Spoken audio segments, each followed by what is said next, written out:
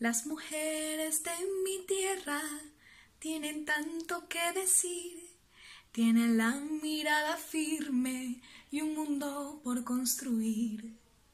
Amigas, amigos, soy Seya Ubau. Un gran saludo de mi parte para todos los chicos y las chicas de Voz TV. Quiero contarles lo que estoy haciendo para protegerme del COVID-19, protegerme a mí y a mis seres queridos. Si voy a estornudar o toser, lo hago con mi antebrazo y sobre todo procuro no salir de mi casa.